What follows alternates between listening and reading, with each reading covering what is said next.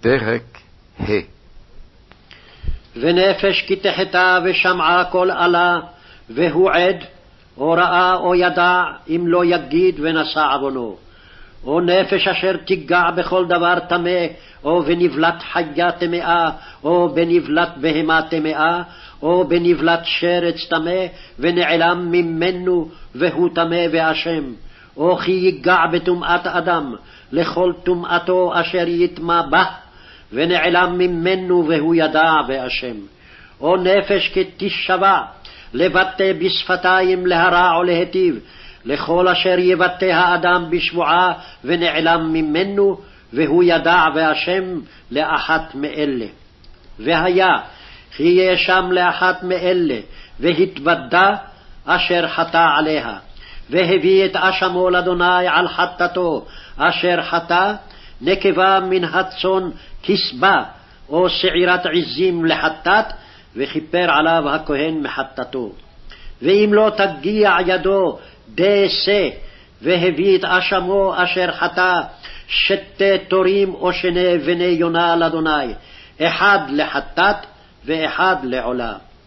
והביא אותם אל הכהן, והקריב את אשר לחטאת ראשונה, ומלק את ראשו ממול עורפו ולא יבדיל.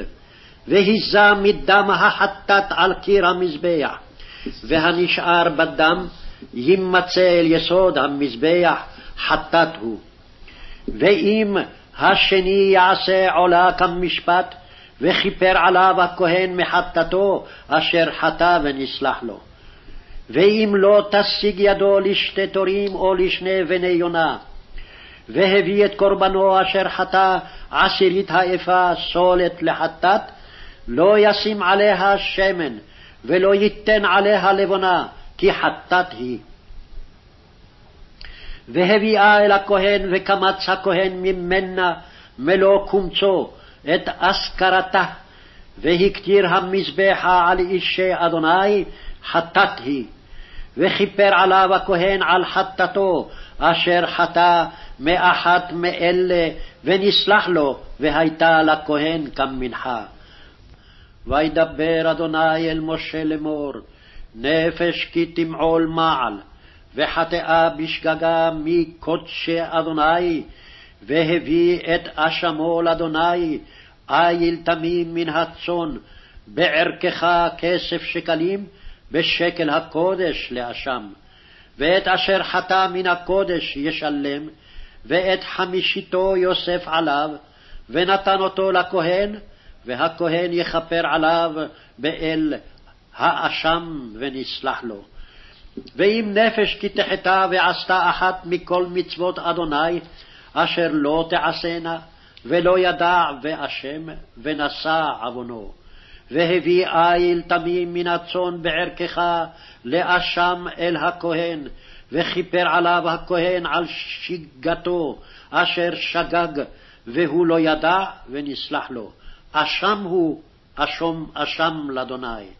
וידבר אדוני אל משה לאמור, נפש כי תחתה ומעלה מעל באדוני, וכיחש בעמיתו בפיקדון, או בתשומת יד, או בגזל, או עשק את עמיתו, או מצא אבדה וכיחש בה, ונשבע על שקר, על אחת מכל אשר יעשה האדם לחטוא בהנה.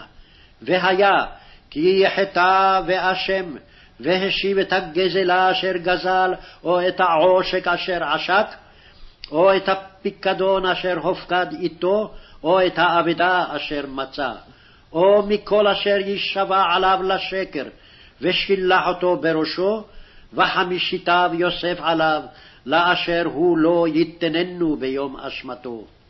ואת אשמו יביא לאדוני, איל תמים מן הצאן, בערכך לאשם אל הכהן, וכיפר עליו הכהן לפני אדוני, ונסלח לו על אחת מכל אשר יעשה לאשמה בה.